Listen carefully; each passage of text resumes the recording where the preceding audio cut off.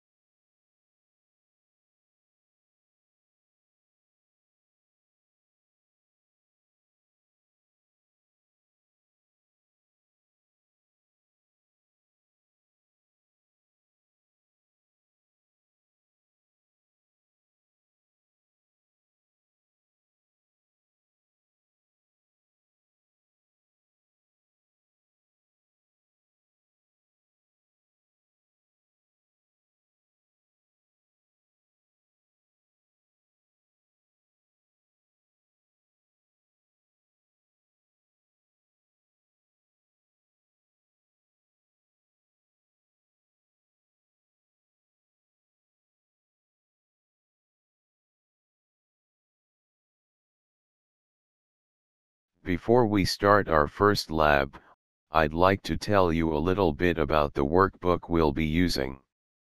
The first thing I'd like to point out is that the workbook contains a very large amount of material, far more than you could ever handle in a single semester.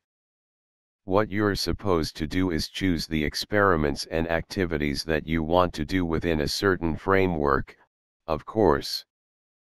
Part of my job is to help you make your choices.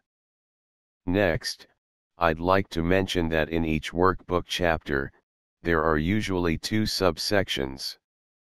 The first is called experiments and the second is called activities. In the experiments section, the workbook gives full instructions for all the experiments, including alternate procedures. Choose the procedure you wish there's plenty of equipment available. In the activities section, you will find suggestions for projects that you can do on your own time. You'll see that there are usually no detailed instructions for the activities you're supposed to do them your own way.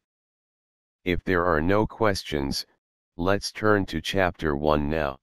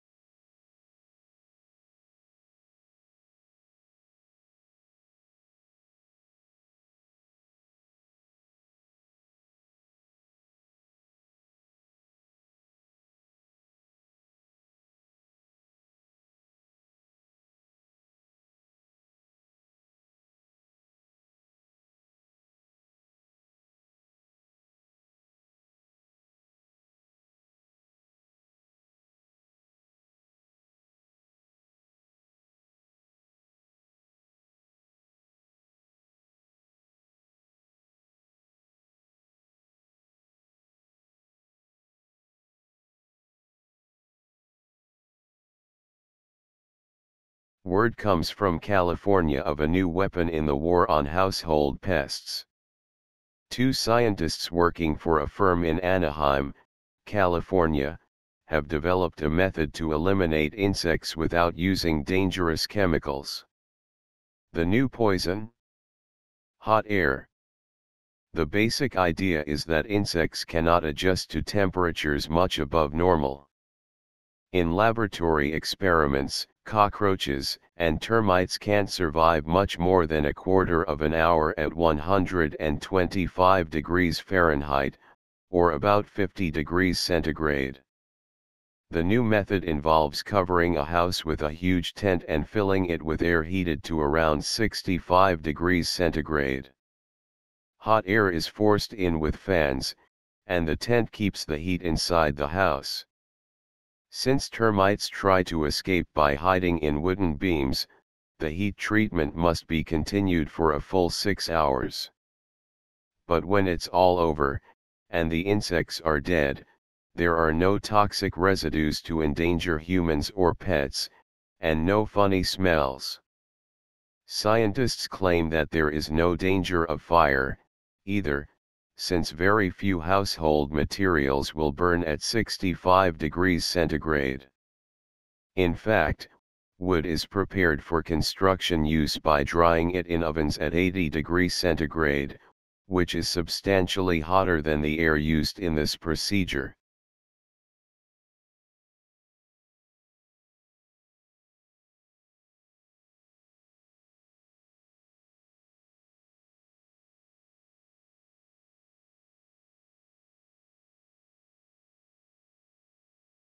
I'm sure you realize that your research papers are due in six weeks. I've looked at your proposed topics and made comments about them. The most frequent problem was proposing too broad a topic. Remember, this is only a 15-page paper.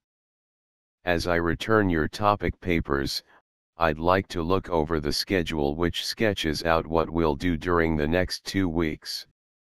Today is Monday, by Friday, I want your preliminary outline. Please be sure to incorporate the suggestions I've made on your topics in your outlines. Next week I'll have a conference with each of you. I've posted a schedule on my office door. Sign your name to indicate the time you're available for an appointment. In the conference, we'll discuss your preliminary outline. Then you can make the necessary revisions and hand in your final outline, which is due two weeks from today. Use the outline style in your textbook and remember it should be no more than two pages long. Be sure to begin with a thesis statement, that is, with a precise statement of the point you intend to prove and include a conclusion. Have you got all that? Your two-page preliminary outlines are due at the end of this week and the final outlines are due after your conferences. Follow the textbook style and include a thesis statement and a conclusion.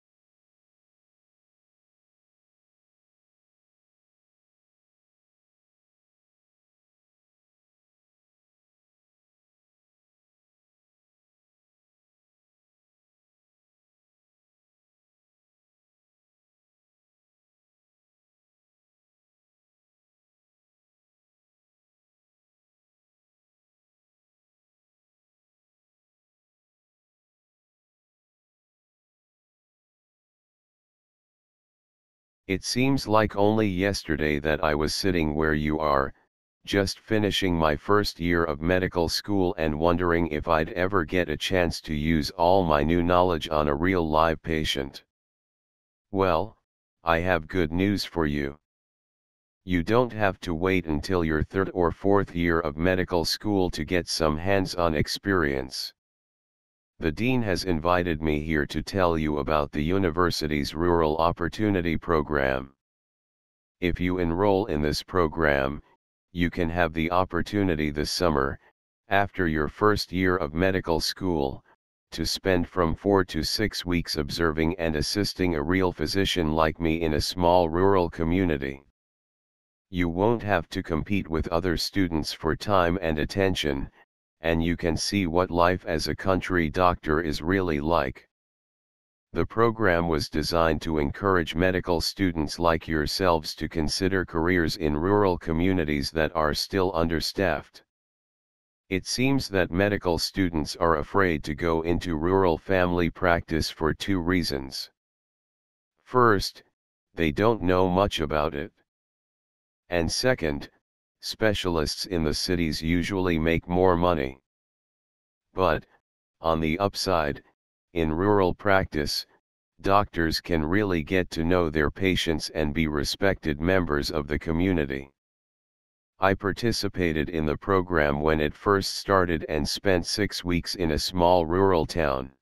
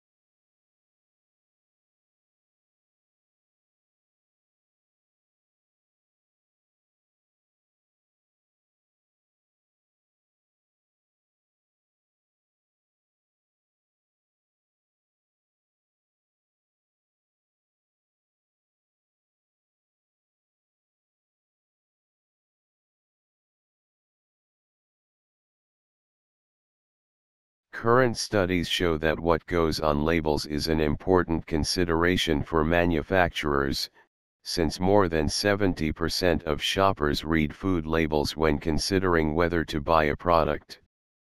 A recent controversy as to whether labels on prepared foods should educate or merely inform the consumer is over, and a consumer group got its way.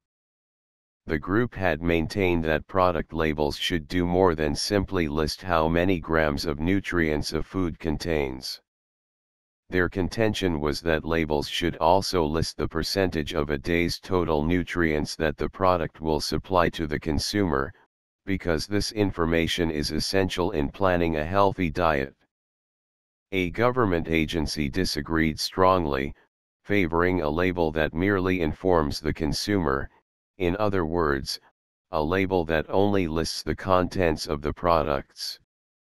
The agency maintained that consumers could decide for themselves if the food is nutritious and is meeting their daily needs. The consumer group, in supporting its case, had cited a survey in which shoppers were shown a food label, and were then asked if they would need more or less of a certain nutrient after eating a serving of this product. The shoppers weren't able to answer the questions easily when they were not given a specific percentage. This study, and others helped get the new regulation passed, and now food products must have the more detailed labels.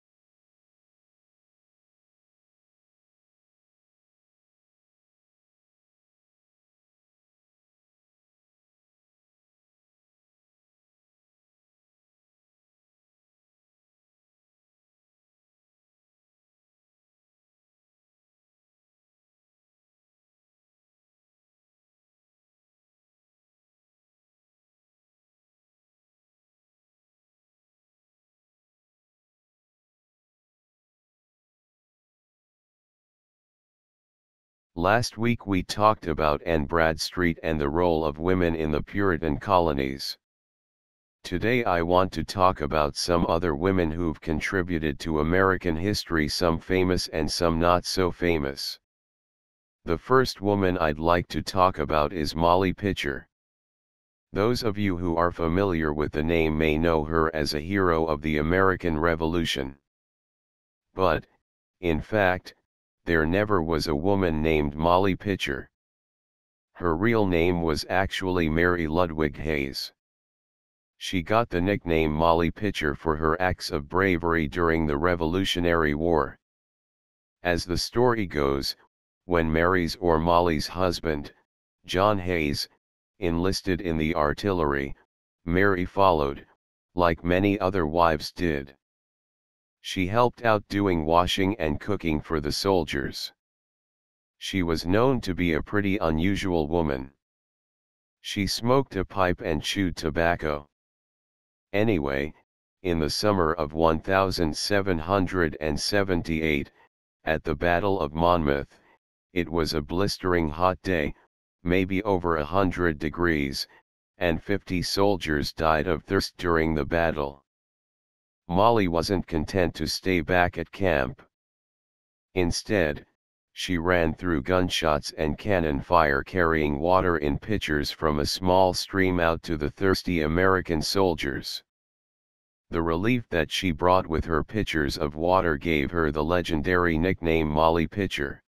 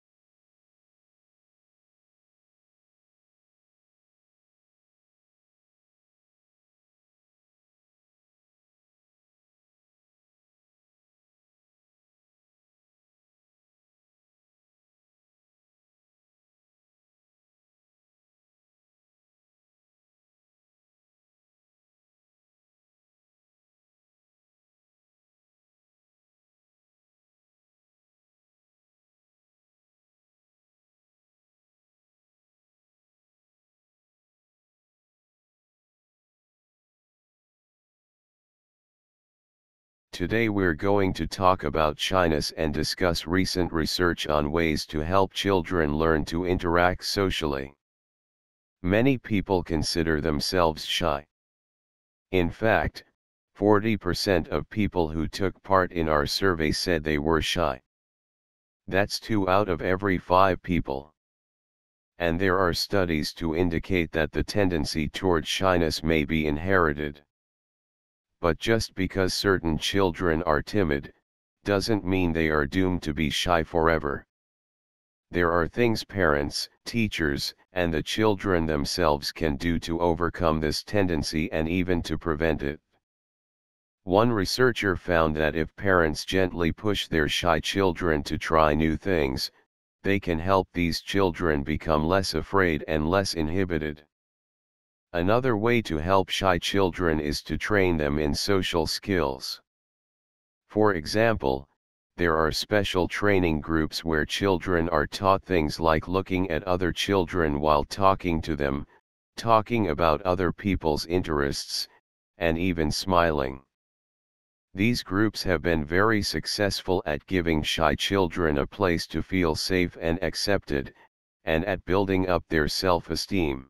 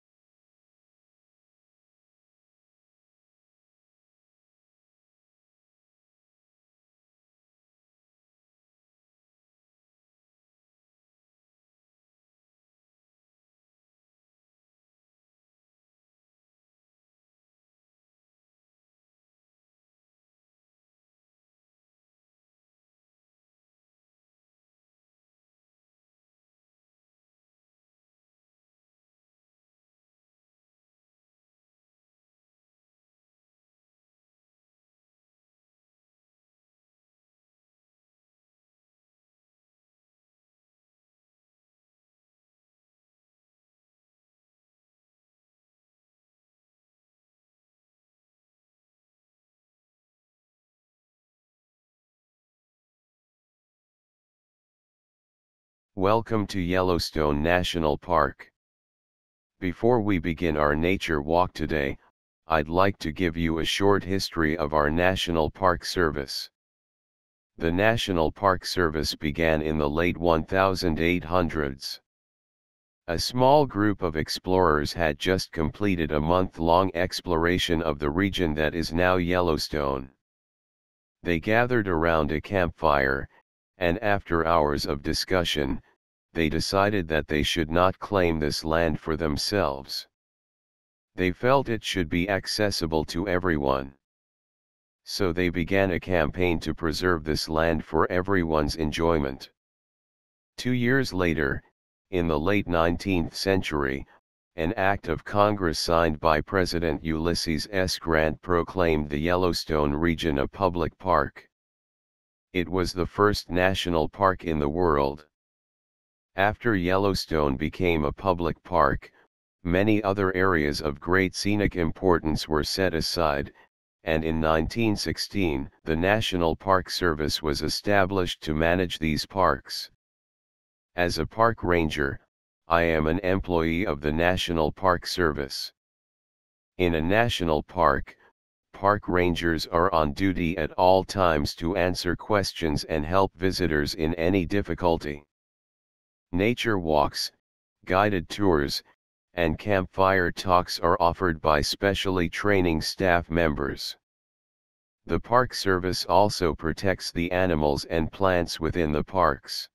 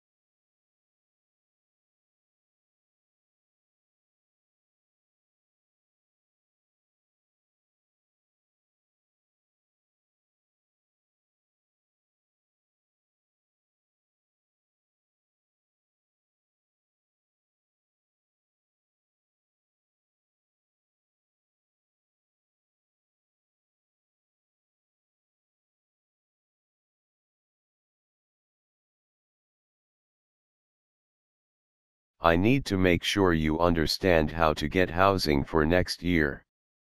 When you entered as first year students this year, the school assigned you to a dorm and a roommate, but next year as returning students you'll choose both your roommate and your dorm.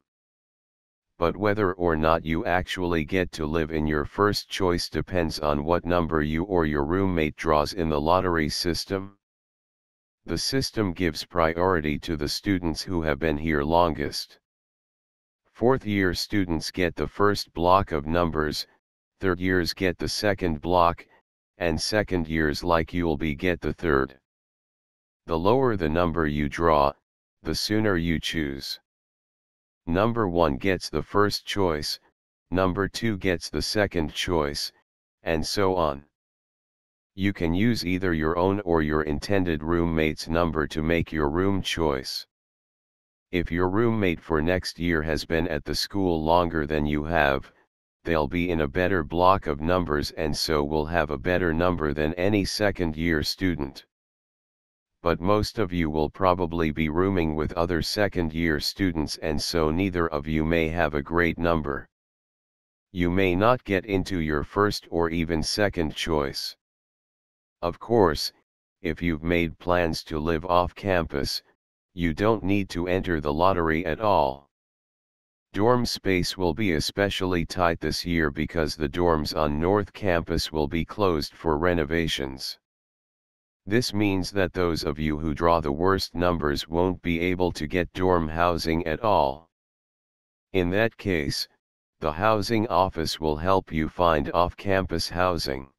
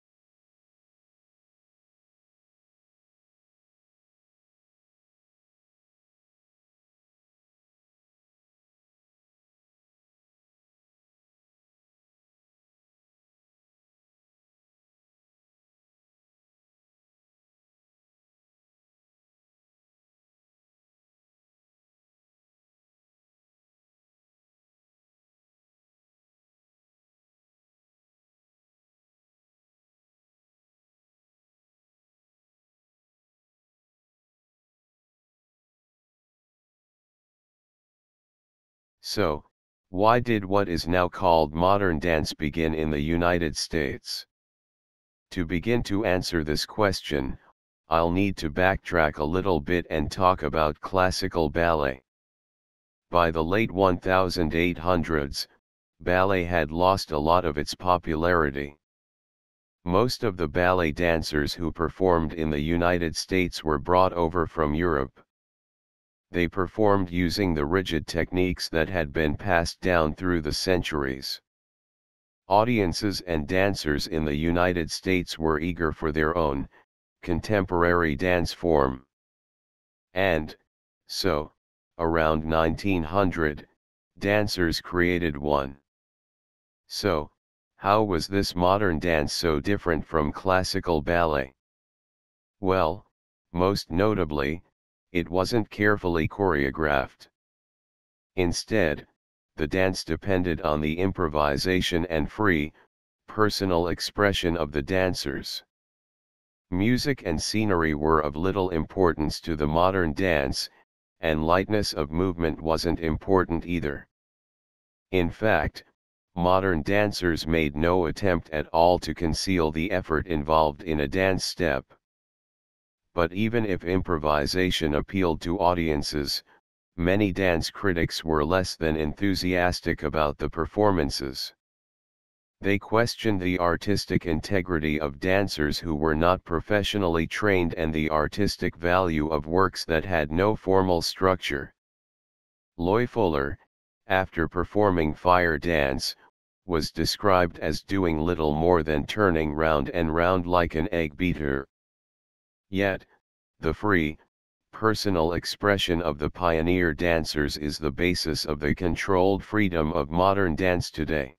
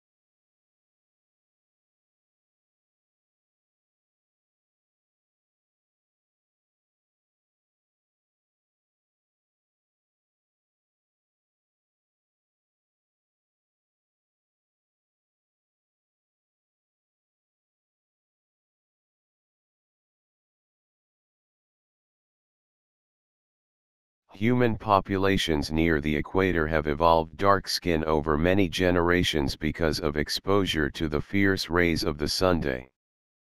A similar phenomenon has also occurred in other parts of the animal kingdom. The African grass mouse is a good example. Most mice are nocturnal, but the African grass mouse is active during daylight hours. This means that it spends its days searching for food in the semi-dry bush and scrub habitats of eastern and southern Africa. Its fur is striped, like a chipmunk's, which helps it blend in with its environment. Because it spends a lot of time in the intense tropical sun, the grass mouse has also evolved two separate safeguards against the sun's ultraviolet radiation. First, like the populations of humans in this region of the world, the skin of the grass mouse contains lots of melanin, or dark pigment. Second, and quite unusual, this mouse has a layer of melanin pigmented tissue between its skull and skin. This unique cap provides an extra measure of protection for the grass mouse and three other types of African mouse-like rodents that are active during the day. The only other species scientists have identified with the same sort of skull adaptation is the white tent-making bat of the Central American tropics. Although these bats sleep during the day, they do so curled up with their heads exposed to the sun.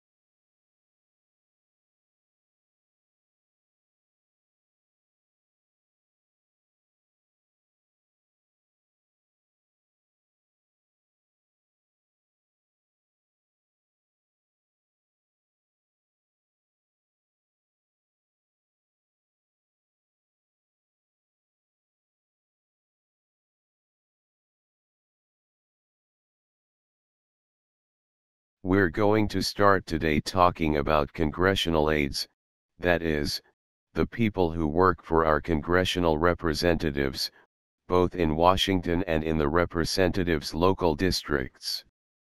It used to be that members of Congress had a relatively small staff of people working for them, and the role of these people wasn't of primary importance. But now there are thousands of congressional aides, and they've profoundly affected the way the whole government works. Congressional aides work in two different locations, 1. In the congressional representatives' local offices, the districts from which they were elected, and 2. In Washington. Staff in the local offices help members of Congress stay in touch with citizens in their districts. These citizens can bring problems in in person, or by mail or phone. This personal connection between the aides and the local people can be helpful when the next election comes around. People remember the help they get from the office of their local congressional representative. But as you know, members of Congress have to spend most of their time in Washington taking care of their legislative duties. Over 6,000 new laws are introduced in Congress each session. Without help, representatives would have trouble keeping up with the proposed laws that directly affect their districts. So that's why the congressional aides play a major role in Washington. They keep their bosses informed about pending legislation, organize hearings, and just keep their local congressional representatives up to date and informed on what's going on in other parts of Congress.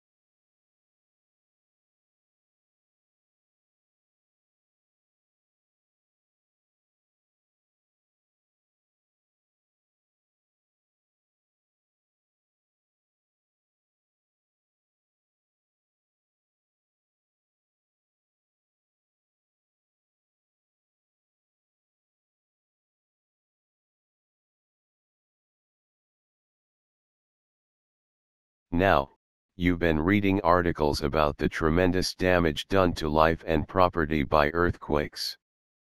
That's why seismologists have been working so hard to develop methods of earthquake prediction.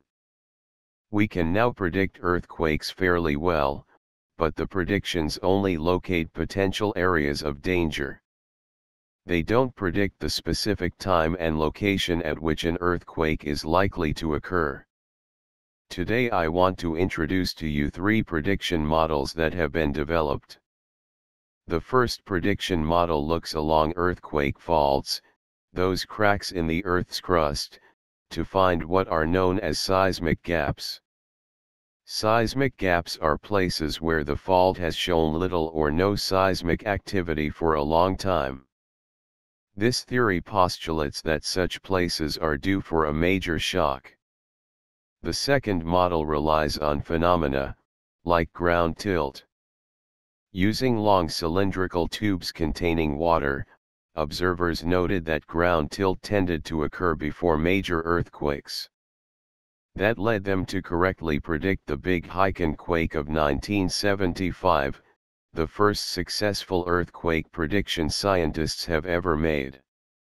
A million people were evacuated from that Chinese city before the earthquake struck. Unfortunately, this method hasn't worked consistently, so we can't say it's been perfected. The third model is based on the theory that major earthquakes closely follow a series of minor ones.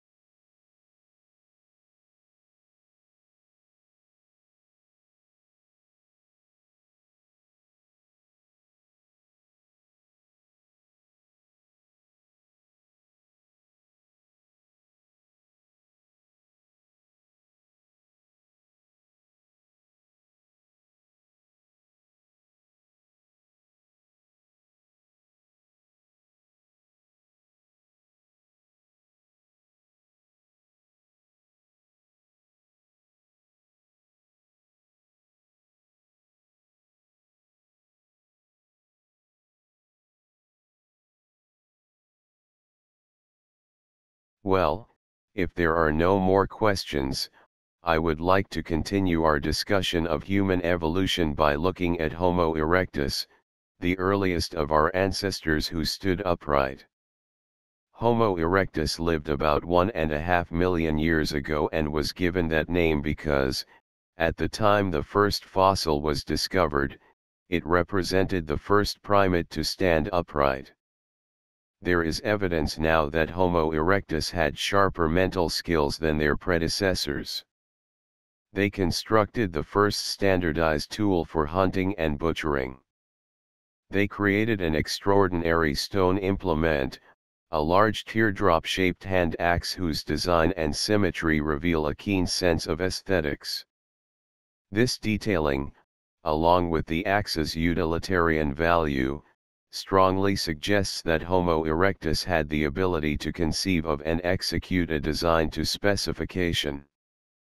In addition, Homo erectus was the first hominid to use fire. This discovery enticed them to cook meat, which they could flavor and keep from spilling by flame, and which paleontologists now believe may have given them a new disease. Some fossil bones of Homo erectus are grossly deformed, and paleontologists have noted that this condition is similar to that found in people today who have been exposed to chronic overdoses of vitamin A. Apparently Homo erectus first got this disease by eating large amounts of animal liver.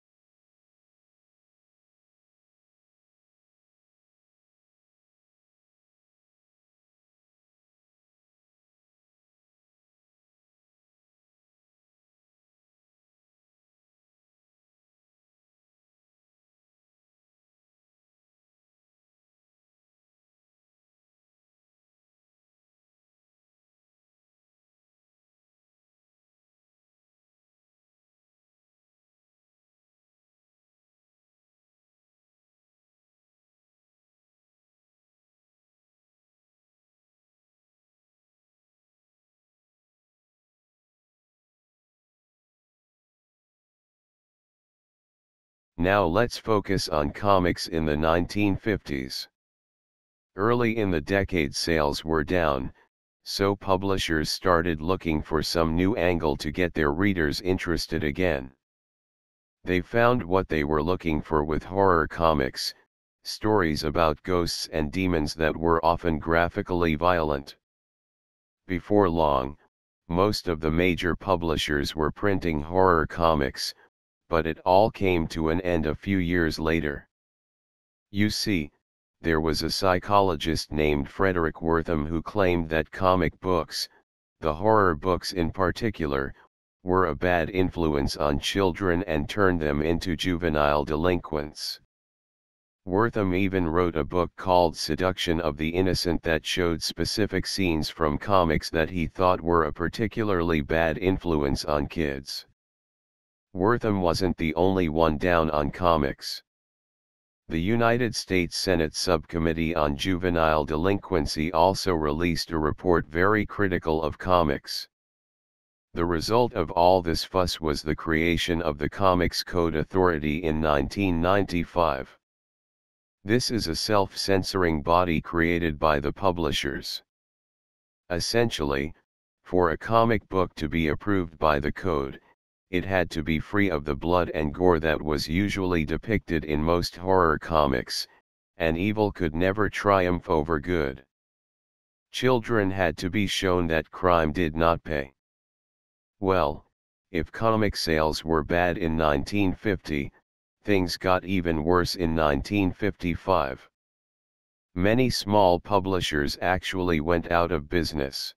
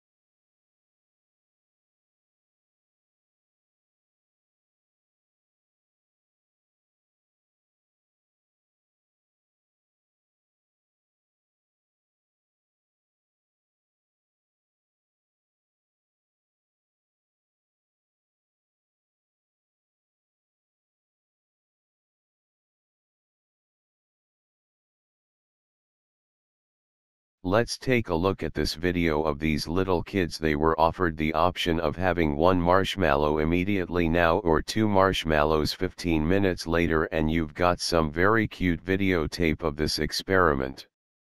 So let's take a look okay, what we found is a very simple and direct way of measuring a competence that seems to make an important life difference. A researcher tells these preschoolers that she's going to leave the room if they wait for her to come back without eating the marshmallows.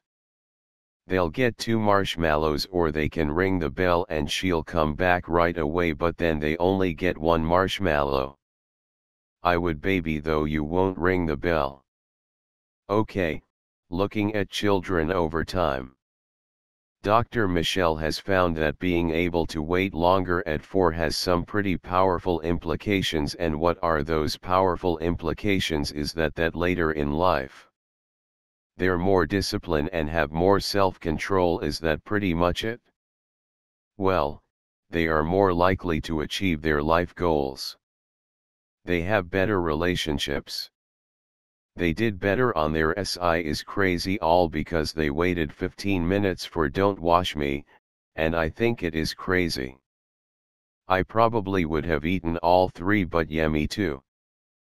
But um you know actually yes, the ability to be able to pursue your goals in this case it was stab two marshmallows versus one and not going automatic and just grab the marshmallow is a very important skill, but I think a main point in mind in the making is that these skills can be caught, taught if you re 14 or 40 or or 4 it's not ever too late and any child can learn the many adult can teach them and it's never too late.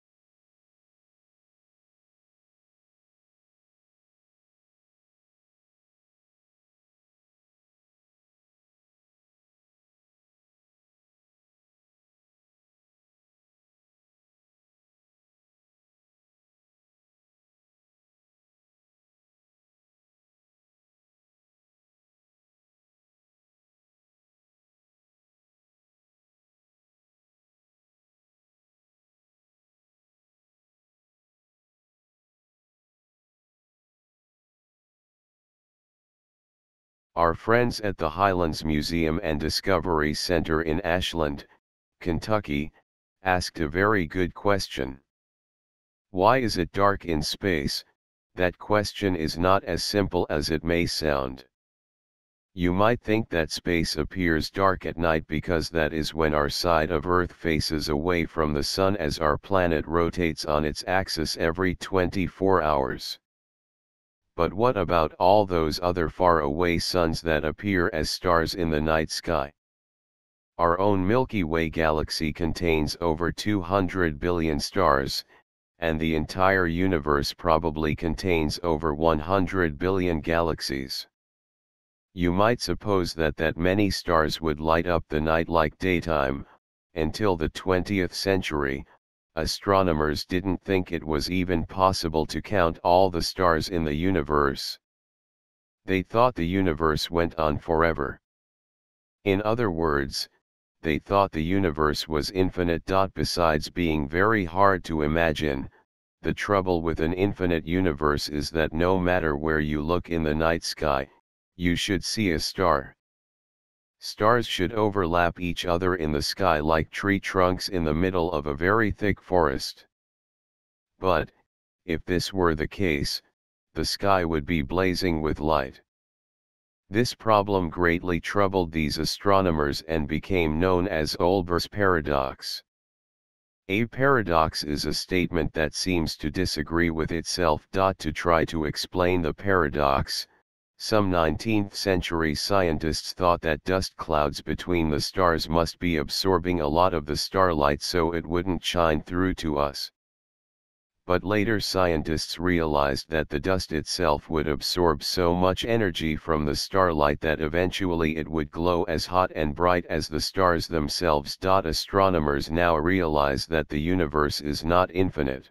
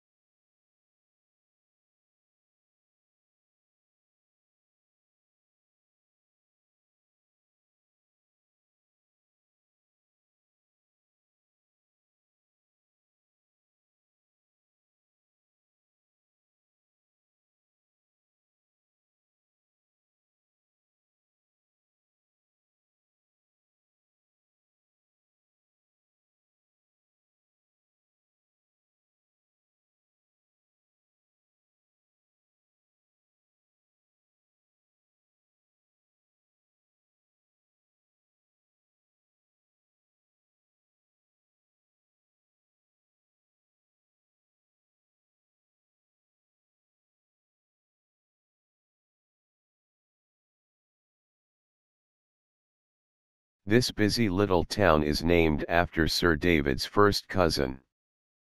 It's also a Welsh language stronghold. According to the 2001 census results 70% of the town's population could speak Welsh but even here the language may not be completely safe.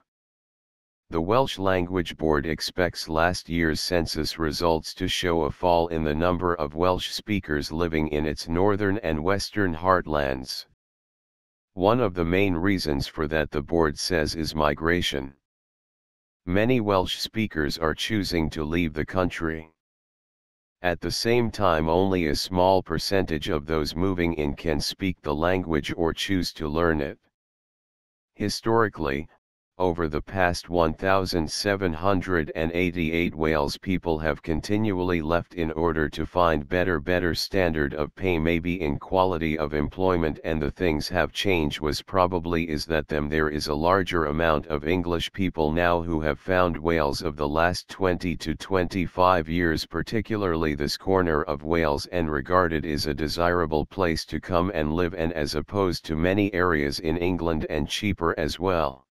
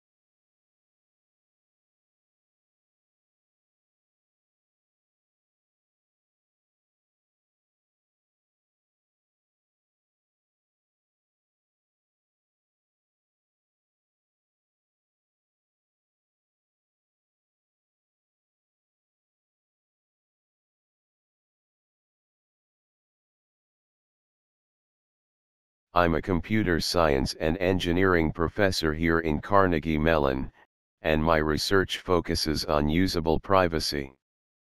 And so my friends like to give me examples of their frustrations with computing systems, especially frustrations related to usable privacy and security. Excuse me, so passwords are somethings that I hear a lot about. A lot of people are frustrated with passwords, and it's bad enough when you have to have one really good password that you can remember, but nobody else is going to able to guess. But what do you do when you have accounts on a hundred different systems and you're supposed to have a unique password for each of these systems? It's tough. At Carnegie Mellon, they used to make it actually pretty easy for us to remember our passwords. The password requirement up through 2009 was just that you had to have a password with at least one character. Pretty easy. But then they changed things, and at the end of 2009, they announced that we were going to have a new policy, and this new policy required passwords that were at least 8 characters long, with an uppercase letter, lowercase letter, a digit, a symbol, you couldn't use the same character more than three times, and it wasn't allowed to be in a dictionary.